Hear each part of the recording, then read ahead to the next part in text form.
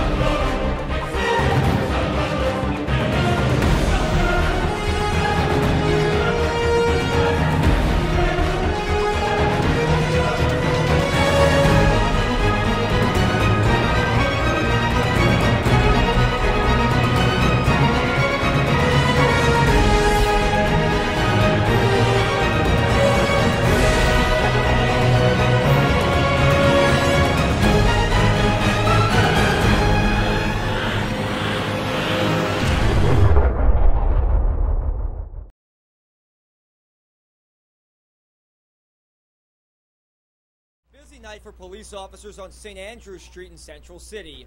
Officers making an arrest one night after 76 year old Henry Barber was found stabbed to death in this apartment complex. 72 year old Herman Oakes lives next door. I'm told to hear about that. So close to everything. Police say this is the woman who killed Barber, 36 year old Benika Hankton, a first cousin of Telly Hankton, the person police once called the city's most dangerous man. Officers say Benika has a lengthy arrest record for crack cocaine.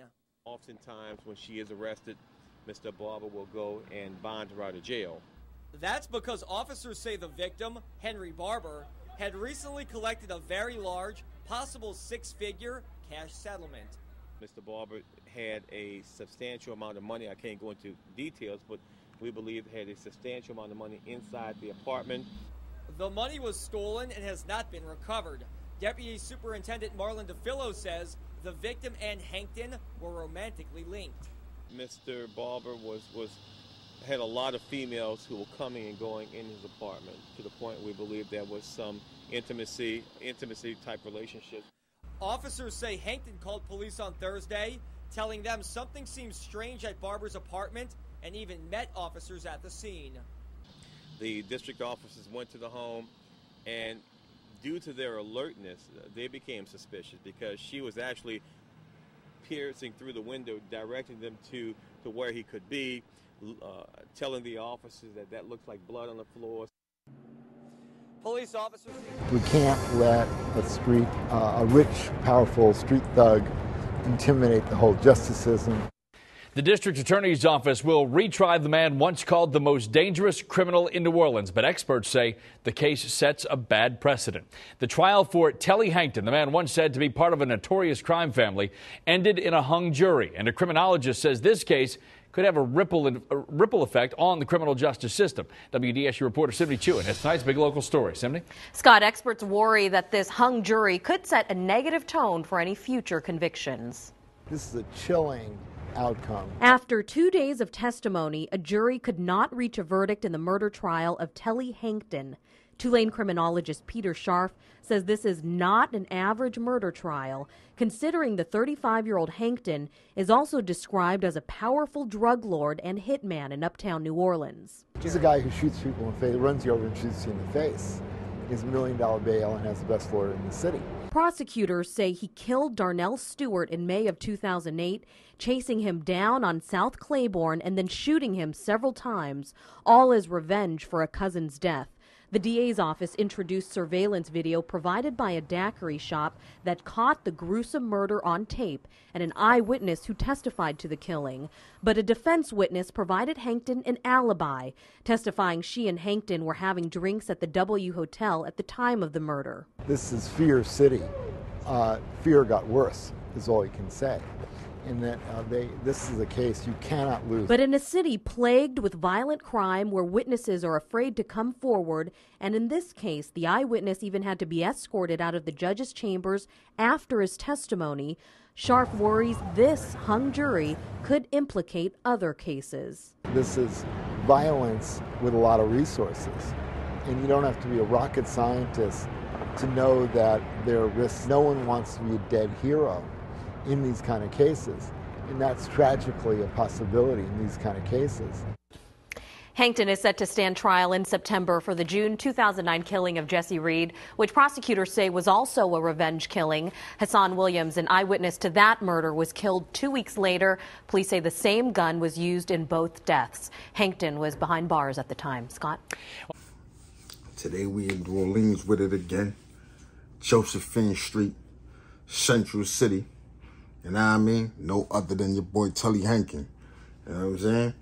Yeah, I had to cover this one, man, because it was it was requested by one of my followers. You know what I mean? I'm gonna throw your name up there, bro. You know what I mean? And I did this one basically for you. You know what I'm saying? So look though. Now I'm glad you gave me that window, bro, because this story is definitely, definitely, definitely fire.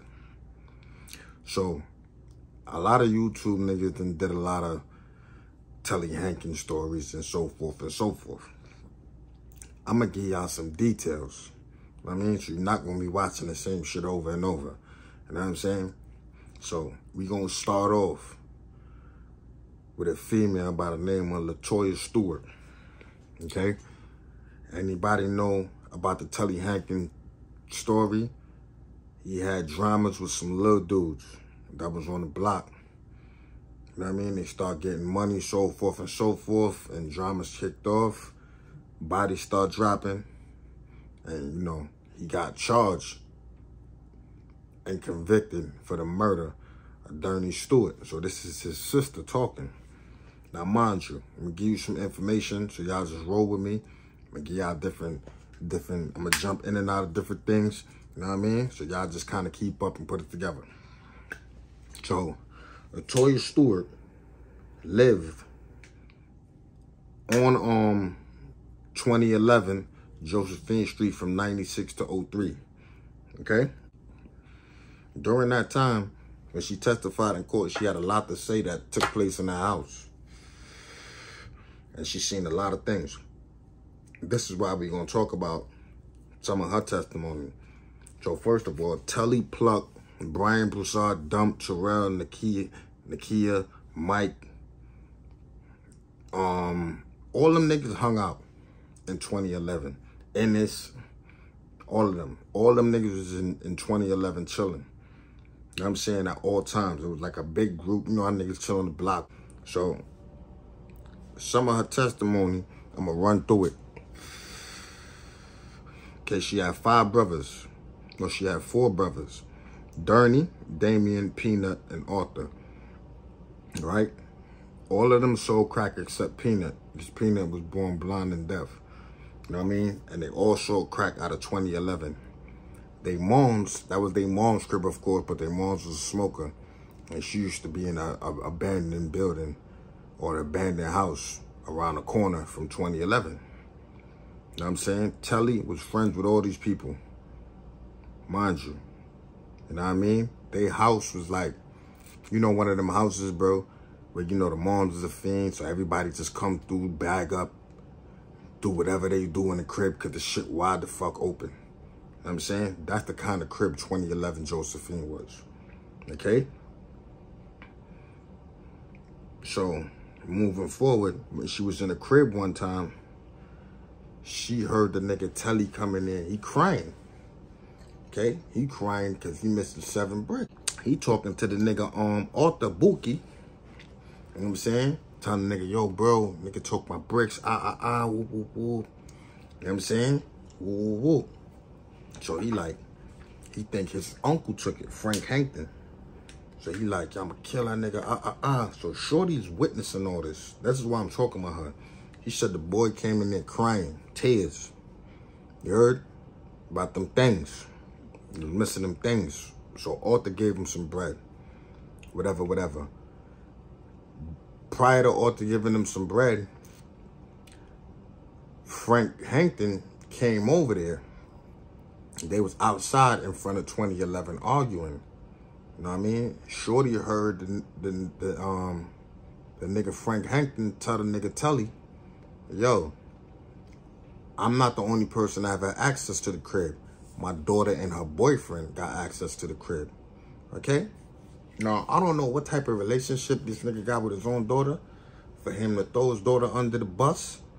But A week later, an attempt was made on Frank Hankton life. He survived. One month later, on June 12, 2000, Frank Hankton's daughter, Denise, and Calvin Fox were both gunned down. Okay? Now, what, my nigga, like, is this what, that's how, I, this is the thing. Shout out to New Orleans, yo. Shout out to New fucking Orleans, man. You know what I mean? I done did so much work on y'all, on y'all whole state, man. You know what I mean? I got my channel lit. Shout out to y'all, man. You know what I mean? But what is it, man? Is it, is it like dog eat dog and puppy starving in New Orleans, bro? Because how a nigga set his own daughter up to get bodied? That's crazy. You know what I'm saying? Moving on, though. So, nigga Arthur gave him some bread. I guess he paid to connect back. A lot of drug deals went down in his house in 2011. Shorty seen a lot in that crib. It started through a little nigga named Pluck. You know what I'm saying? So the little nigga named Pluck, his name is Brian Broussard. Alright? So the little nigga Pluck was on the block getting money. So he was selling a little bud. You know what I mean? You know how niggas play around, sell a little bud, whoop, whoop, whoop, nigga made a connect. You know what I'm saying? He met the connect, nigga had some fire boy. So he put the nigga Pluck on, you know, Pluck a little nigga. These is little niggas, bro. So the little nigga on, he get the dope. He start selling the dope. But he was selling the dope in front of this nigga Tully Aunt crib. You know what I mean? I I really believe, bro, at some point, the little niggas was coming up. And by them little niggas coming up, the nigga Tully was just like, yo, son, these little niggas can't be doing that shit over here, bro. This my block. Whoop, whoop, whoop. Uh, uh, uh. That's how I really feel about the situation from the outside looking in. I may be wrong. Comment gang. Chime in, boy. Comment gang. If I'm wrong, let me know, bro. If y'all know more, let me know, bro. Know what I mean? Listen, hit my motherfucking email up. Know what I'm saying? You can hit my motherfucking um, Instagram up. You know what I'm saying? Lifeswild, ent at gmail.com.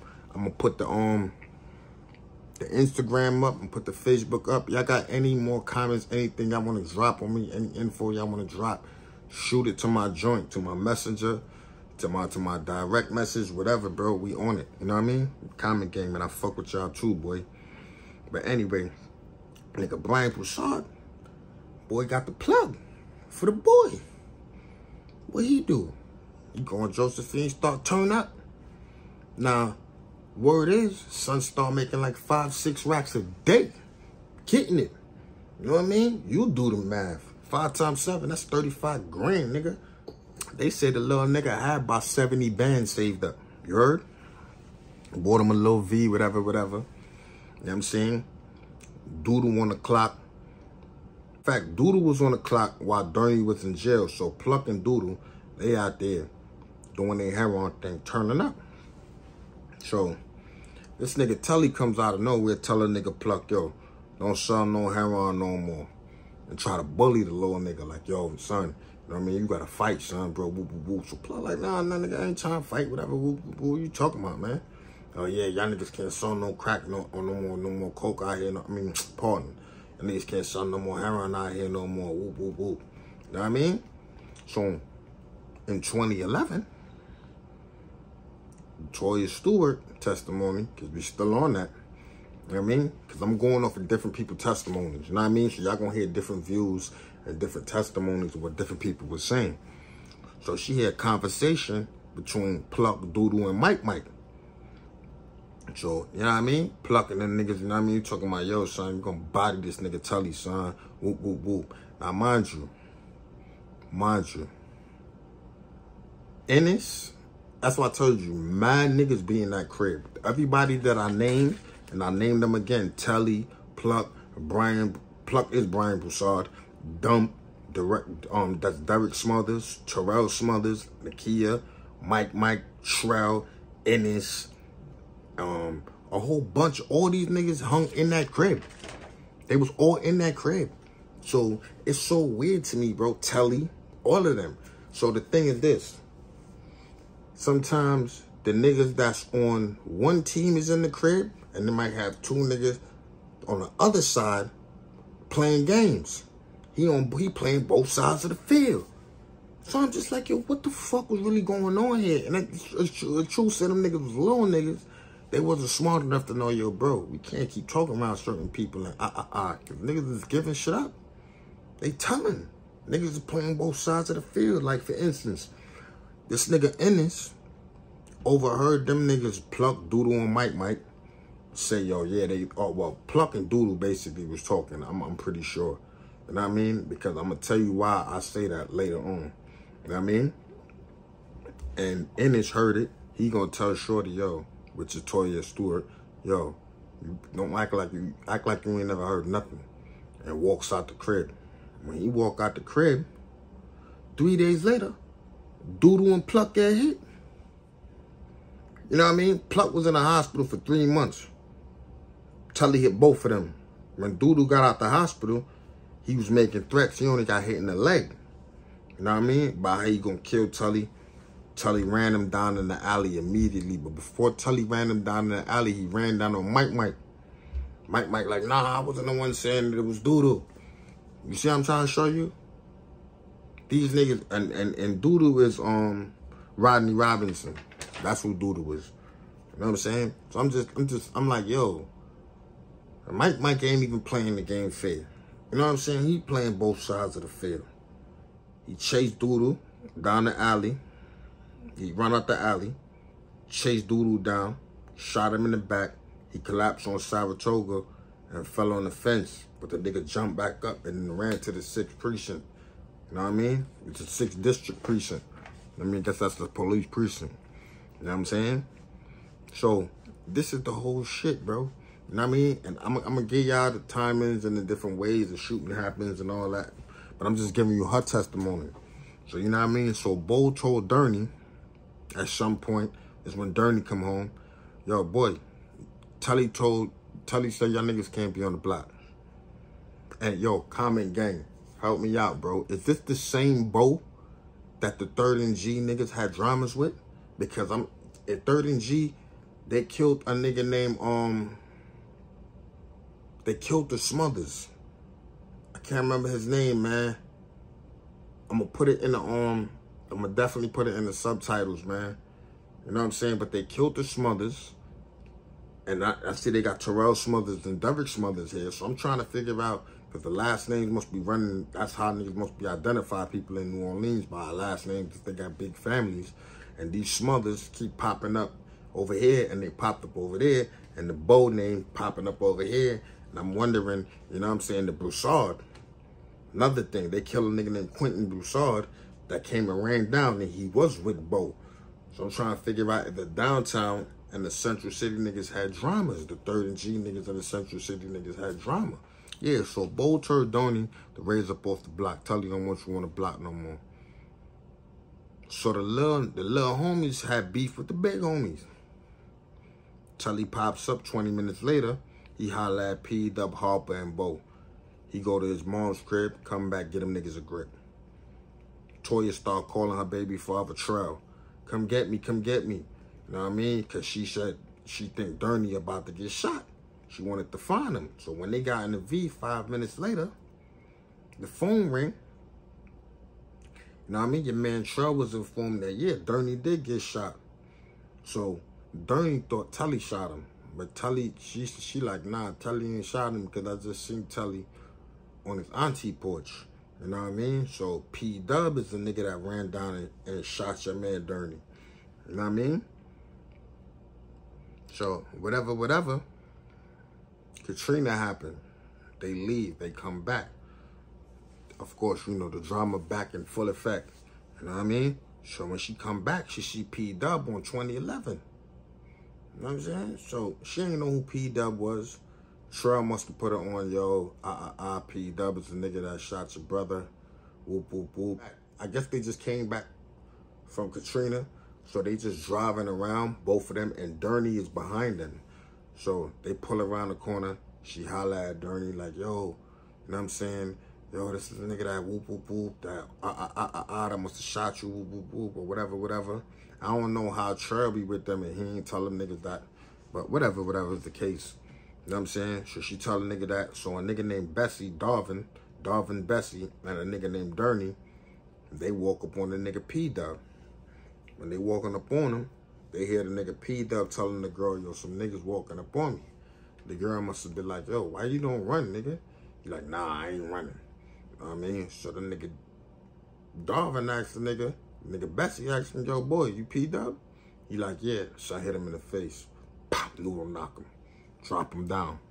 P-Dub was found in the alley across the street from 2011.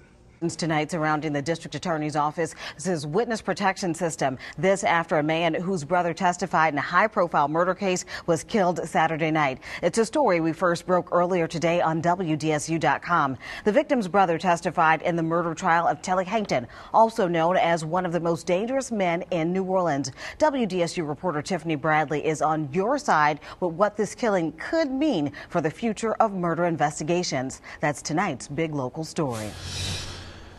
New Orleans police have confirmed that a 61 year old man shot to death outside of this Jazz Daiquiri and Lounge on Claiborne Avenue Saturday night is indeed the brother of a man who was a key witness in the Telly Hankton trial last month. A brutal uptown murder could be linked to the city's most dangerous criminal, who's now behind bars. Curtis Matthews, the co owner of this daiquiri shop, was gunned down in front of his business Saturday night. Neighbors didn't seem surprised over the killing. That's not the first time that I've heard of shootings and stuff like that. But this shooting comes days after a high profile criminal, Telly Hankton, was sentenced to life in prison for murder. Curtis Matthews was the brother of the man who helped put Hankton behind bars. Back in September, John Matthews testified he was almost certain Hankton shot and killed Darnell Stewart in front of his daiquiri shop in May 2008. They can't uh, get you, to get your wife, to get your kid. Criminologist Peter Scharf says the recent homicide is a huge blow to the criminal justice system. How are all these great people in the DA's witness victim witness protection witness assistance program going to convince people to testify against organized drug interests? We got another nigga that testified against Telly by the name of Aaron Smith. This little nigga was Telly brother-in-law. Know what I mean? He had his, his sister had two twins for Telly. So, you know, he felt like, and Telly felt like, you know, little nigga could be trusted or whatever, whatever. Mind you, I guess little nigga be knocking shit down. Everybody in New Orleans knocking shit down. Everybody caught a body out that motherfucker. That shit is just like, you know what I mean? Graduating fucking middle school. But um, he introduced the nigga Moonie, reintroduced Moonie back to the nigga Tully because I guess they did a little juvie bit together. And Tully didn't remember the nigga by name, but when he seen him, he knew who he was. So, Eric G is the nigga who pulled this nigga Aaron back into the whole situation. Because Eric G was out on a hit looking for Tutu. Mind you, I'm going to catch y'all up. You know what I'm saying? I'm going to give y'all a good summary. But I want to give y'all some testimony on, on some of this shit that happened. So Eric G, I guess he was on the hit looking for Tutu because Tutu had money on his head. I'm going to tell y'all why Tutu had money on his head. You know what I mean? Tutu had money on his head because Tutu, Durney, and another little nigga, I'm gonna get to that, but they they they ran down on George Cup. George Cup Hankton, you feel me? And smoking. You know what I'm saying?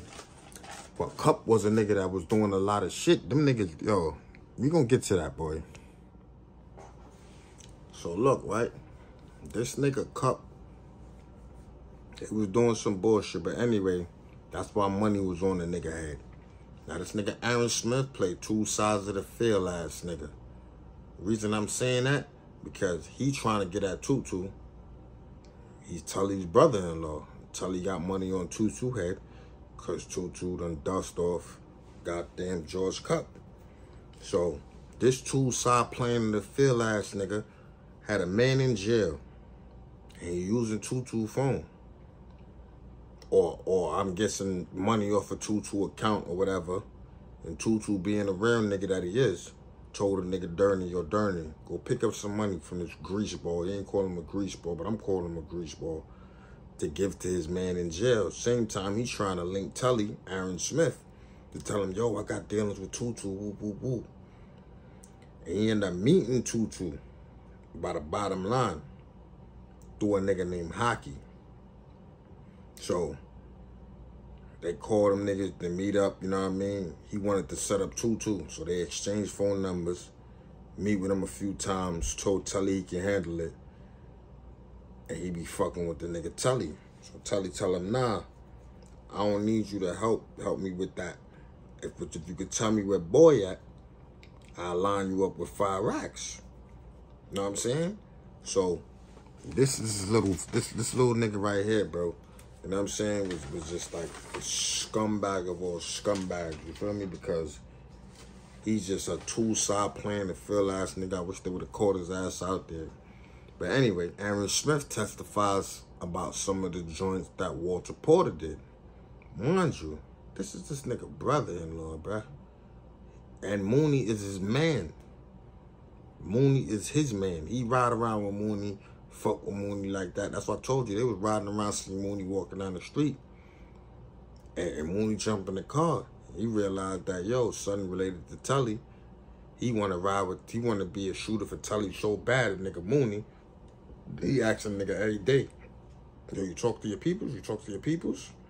You know what I mean? Nigga Aaron Smith end up linking him and the nigga um Tully together.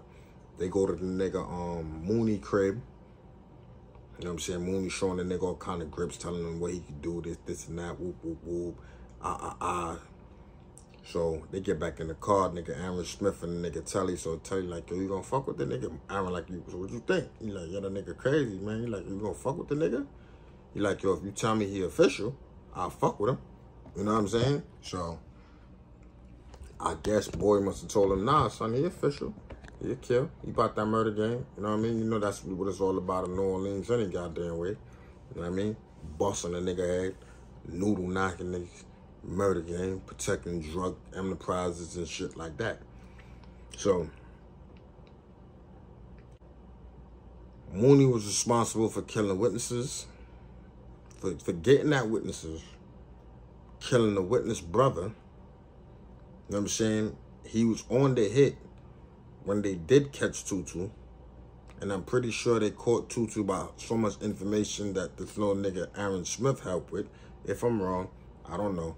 But due to, to what I'm reading and what I'm seeing, this is what I'm getting from it. You know what I mean? But um yeah, Moonie was definitely there, and I'm gonna explain how they did that.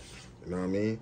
So we had another person by the name of Hassan Williams that testified against um Tully again, and and this is this is this is like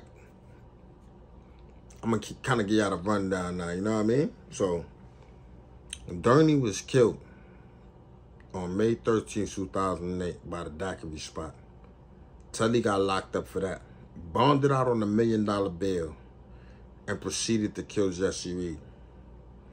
Durney and Cup met at some barber shop. This I'm gonna give y'all a rundown now. You know what I mean?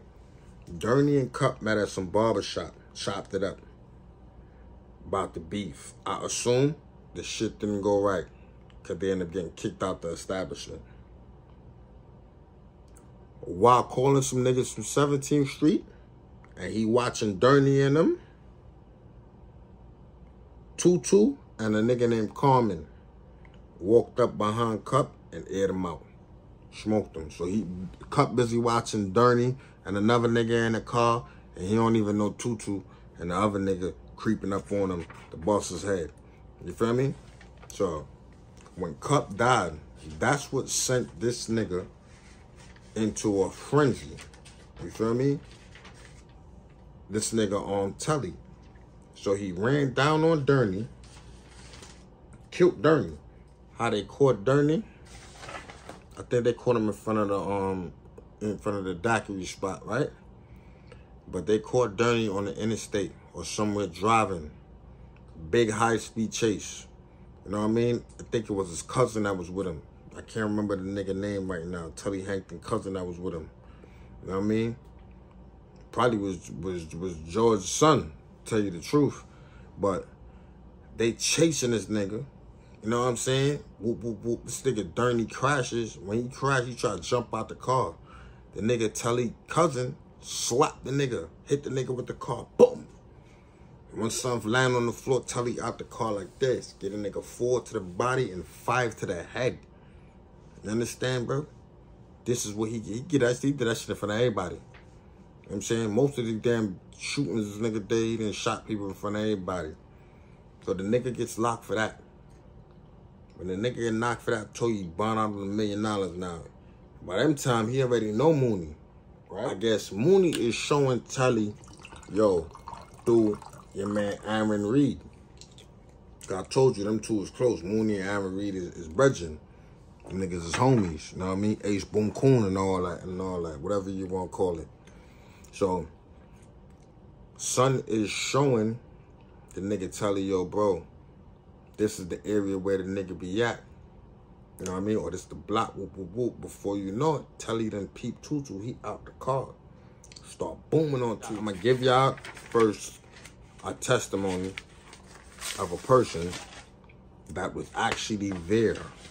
You know what I'm saying? And and seen the shooting. You know what I mean? And then I'm going to tell y'all what Aaron Smith said. So Hassan Williams said that they was walking. And she was walking with Jesse. Tully came from around the corner speeding like police. Try to cut them off. Tell them, don't move. Put your hands up. Police, right? They see who it is. So they start running together. You know what I mean? I guess the nigga Jesse must have cut across the street. And they they booming at him, son. Because they got like, you know what I mean? You know the niggas got like two thirds or whatever. So they like I don't know if this Hassan is a female or, or I'm, I'm guessing it's a male. You know what I'm saying? But I'm, I'm then I'm also guessing it's a female doing due to what the, the, the kind of the testimony. So I'm not sure, but they said that the son ran across the street. They start dumping, boom, boom, boom, boom, boom. They had you know what I mean like 20 times before Sun dropped. Now when he dropped she said she seen Tully stood, stood over him, ran up on him and stood over him, and she couldn't identify the other person because they was in all black.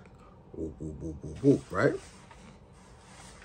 Now, going back to Aaron Smith's testimony, when he came home, he seen the murder on the news because he was in jail, right? And when he seen the murder on the news, he knew that Moonie did it because they said that the boy got shot over 50 something times. Moonie carries two guns, right? So Moonie was tight. Moonie was mad because he he's like, yo, I'm just showing this nigga Tully the block before this nigga Tully tell me anything. This nigga jumps out and start booming on the nigga. He like, yo, he wasn't even supposed to be on the scene. Mind you, the boy is on bond. You know what I mean? For a million dollars, so he wasn't supposed to even be on the scene of the murder. But anyway, you know, they killed his uncle, and his uncle was the one that showed him the game. So he feels some type of weight. You gotta handle that one personally. And I'm pretty sure that's what that nigga was thinking. But I'm, I'm gonna tell you the mind frame of a nigga like Tully, man, just now. You know what I mean? But anyway, so the nigga nigga Walter Porter tell the nigga Aaron Smith, like, yeah, man, I'm mad at this nigga, man, because this nigga was supposed to just show me or tell me how the nigga look, and I was going to go deal with the nigga. Nigga wasn't supposed to be on the scene. You know what I'm saying? He wasn't supposed to be nowhere around that joint. He jumps out the car, starts shooting, so he's like, I had to follow up. The nigga said, yo, I was hitting the nigga. He had two guns, like he do a 40 and a 9.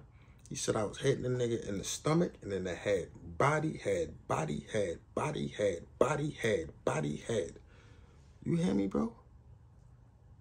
These niggas is making Picassos out of, out of, out of M1s, man. What? You catch an M1 like that, and that's what you doing?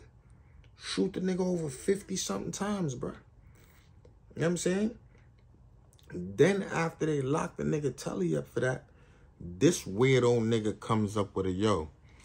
I'ma start a free Telly campaign by keep killing niggas with the same two guns that they killed Jesse Reed two to it. So if you keep killing niggas with the same guns and that guns are still on the street, they can say Telly Hankton ain't doing it. The real killer is still out there. Huh? Bro, if I didn't read this shit in real life, I would have thought a nigga was lying nigga told me these stories. Okay? What is in the mind frame of a man that makes all this fucking money to beef with some little niggas to start all this drama? Too much power. Too much fucking power. This nigga BG was big homie. My nigga Tilly Hankton, you know what I'm saying? One of the realest niggas in the city, you know what I'm saying? They, they hating on him right now, you know what I'm saying? You think got him all over the news and shit, you know what I'm saying? Witnesses coming up dead and shit, man in jail, you know what I'm saying? He posted a million dollar bird, you know what I'm saying? Now they don't want to give a nigga another bond because they knew the man gonna make the bond, you know what I'm saying? See, Monique, you know what it is, baby, yeah? You know what I mean? BG, he done got caught on the wiretap and all that talking about, you know what I mean, all the inside work that the Hanktons be doing and all type of shit. You know what I'm saying? So, yeah, he got caught out there. You, you know what I mean? You seeing the clip, he chilling, talking crazy. You know what I mean? Like, these niggas, they ain't got too much sense. But anyway, the nigga Porter, well, I ain't gonna say they ain't got too much sense. Niggas was real comfortable. You know what I mean? Talking that shit and doing what they was doing because the Hanktons was running the fucking town this nigga motherfucking um Moonie, he run down on the witness. I guess, you know what I'm saying? Um I don't know if it's Aaron Smith or is it Mike Mike? I want to say Mike Mike. I mean Mike Mike gave the nigga the jack and they called on Terrell Smothers dump and told them niggas yeah so go on the witness. So Moonie runs down on the witness you know what I mean? So when he kick, he kick, they blow, they shoot off the door, kick off the door, something like that. It was another person with Moonie or whatever, from what I understand.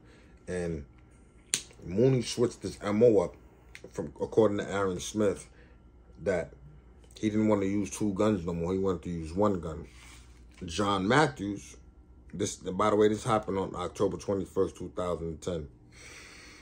John Matthews had a Trey Pound for y'all who don't know what a trey pound is, it's a 357. So he had the trey pound. Now I'm saying he started blowing back. Boom, bam, boom. But, you know, I played around with hammers for, for a while. And I, you know what I mean? And so, that's a defense. That's not a defensive gun. A 357 is not a defensive gun. For all of y'all who out there, and you know, this is a little gun knowledge. Don't go buy a revolver as a defensive gun. What I'm saying is is, is that a revolver is, a, is it's not an offensive gun or defensive gun. It's more like a gun that nobody know you have. You know what I'm saying? Because it, it can't play defense. Somebody come with you, they come with an automatic. You, you, you got a, a five, six shot, and they got 20, 30 shots. You know what I'm saying? It can be your offensive gun, if you you know, but not necessarily. So it's it's kind of like a gun that that's person is carried that's unexpected. You know what I mean, man? Back out of pocket 38 or, or, or snub 357 on you, and you didn't even know you had it. That type, that's what that type of gun is for. You know what I'm saying? So when you start blowing a 357 Moonie gun jam, how do I know this? Inside testimony. Moonie gun jam, he fix it, but when he fix it, he also fix Duke. Give him 17 shots. You feel me? Word. This nigga miraculously still testifies. You hear me, bro? He still come to court and testify and tell you. The next day, or two days later, Moonie killed a nigga brother. Could be linked to the city's most dangerous criminal. We're talking about Telly Hankton. WDSU reporter Simdi Chuen is live where that murder happened on South Claiborne Avenue. And Simdi, what are the details that you have today? Camille, 61 year old Curtis Matthews was gunned down in front of the Jazz Daiquiri Lounge on Saturday night. He suffered multiple gunshot wounds and died at the scene. We have learned that he is the brother of John Matthews, who testified against Telly Hankton at his last trial. He testified that he was 95 to 97 percent sure that it was indeed Hankton who gunned down Darnell Stewart in front of the Jazz Daiquiri Lounge back in 2008. We've heard from District Attorney. And this testimony come from Tutu's sister. So both of the sisters basically testified. And Jesse Reed's sister testified. And Latoya Stewart testified, which is Durney's sister. You know what I mean? Her brother got shot twice. Okay? This is why I say Cup and the nigga Tully was doing mad bullshit. Because they, the, the, once, one, one time the niggas got shot, the first time the niggas got shot, I'm gonna say shot, was at a DMX concert. You know what I'm saying? Matt, I think four people got hit, some shit like that. You know what I'm saying? And I'm gonna tell you how that happened. You know what I'm saying? So the DMX concert, they hit the nigga like 12 times. They thought the nigga was dead, but the nigga survived. Had a shit bag, all that when he came home. You know what I mean? Who did that? Tully. You know what I mean? Then the nigga got hit in Elysian Field. Elysian Fields, that's how y'all say it out there. That's a year before he died. At his sister house. Him and the nigga Durney, they over there in the crib putting the computer together, whatever, whatever, whatever. You know what I mean? The nigga Jesse, whole family, there's grandmoms, aunties, cousins, everybody. Who lurking in the cut? Motherfucking nigga Tully and two other niggas. You know what I'm saying? When them niggas about to leave, they, they saying they goodbyes, go out the door. Two shooters run after Durney. Nigga Jess, the nigga Tully run after Jesse. You know what I mean? He catch the nigga Jesse, hit the nigga, the nigga end up in the store. The nigga Durney get away, come back banging on the door. You know what I'm saying? So this is just to show you how much they kept running down on these niggas, bro. They run down on Doodle. They riding down on, on the nigga um Pluck, Brian Broussard. Then they ran down on, on motherfucking Durney. Then they ran down on Jesse. And so much other more motherfuckers, bruh. This nigga, this nigga Telly. The, the, the Central City Massacre. Committed those crimes. There was rumors out there. It was even brought up in Michael Anderson's case that he had done this. It was dubbed the Central City Massacre. Five teens gunned down at the corner of Josephine and Daniel in June of 2006. The killings prompted then Governor Kathleen Blanco to send the National Guard back to the city. Within days, Michael Anderson was arrested and later convicted of the killings and sentenced to death. When Mike Mike asked, Mike Mike testified against him too. I just didn't put that one in there because it was just a bunch of, you know, history and shit like that. The Mike Mike testimony too. He testified against that nigga. And this nigga Tully is so funny because when Mike Mike got arrested for this shit, before he testified anything, they put that nigga on death row. Mm, right? He put Mike Mike on death row for killing five teens. Tully funny ass gonna tell the nigga, yo, I'm gonna help you out with the lawyers and shit, shit like that. Whoop, whoop, whoop. You know why he told him that, right? Because he was responsible for that shit. How the fuck you kill five teenagers, nigga? What's wrong with this nigga? This nigga, you, this nigga, bro, it was, it was deeper than the money, bro. And deeper than being a fucking hater. This nigga was a, a fucking sociopath or whatever you want to call it, man. I'm gonna call it like it is, man. You know what I mean? You killing five little niggas? Little niggas, bro? The little nigga jumps out. The nigga pulls up on Josephine, right? The little nigga jumps out. This nigga Tully walks up to the nigga, some type of rifle, hit the nigga in the head. Boom! After he hit the nigga head, he hit the driver in the head. Bam! Now the car is rolling. He's walking alongside the car. He sticks the hammer inside the car from the driver's side door and start beat on the other three niggas in the car. Bro, according to the detective Jeffrey, a nigga said four out of the five teams were dead by the time the paramedics arrived. You heard, bro? They locked Mike Mike up for that shit. Who was the real nigga? Telly Hankton, bro. Story is wild, man. It gets deeper than that. It's I can't it too long. I probably had to give y'all a part two. But yeah, this shit is crazy, bro. Fucking crazy. I mean, ultimately he got convicted. You know what I mean? For the for the for the Durney murder and for the Jesse murder. And I think they're gonna bring his ass back to trial and try to hit that boy with the death penalty for them five teams because Mike my case was overturned. You know what I mean? But yeah. No talking, no cool. Ain't no beef between the hood. It's all love back here. As long as you don't come back here with all that tripping.